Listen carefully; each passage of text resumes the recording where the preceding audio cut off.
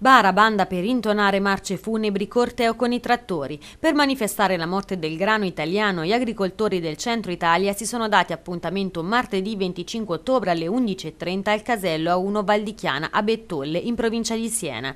Si tratta, spiega Luca Ginestrini, vice direttore di Confagricoltura Arezzo, di una manifestazione di sensibilizzazione dell'opinione pubblica sulle difficoltà che il grano italiano incontra a causa dell'ormai insostenibile contrazione dei prezzi.